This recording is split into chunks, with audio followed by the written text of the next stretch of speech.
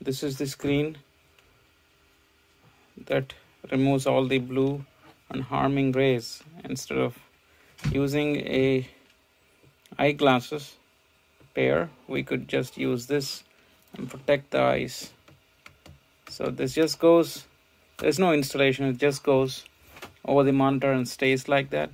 There were a couple of protective screens attached and I removed those screen films and then now it looks very clearer. You see this is slightly black and this is the actual screen. So it is removing all those harmful bright rays that touch the eyes. It is a perfect fit for the 24 inch wide monitor.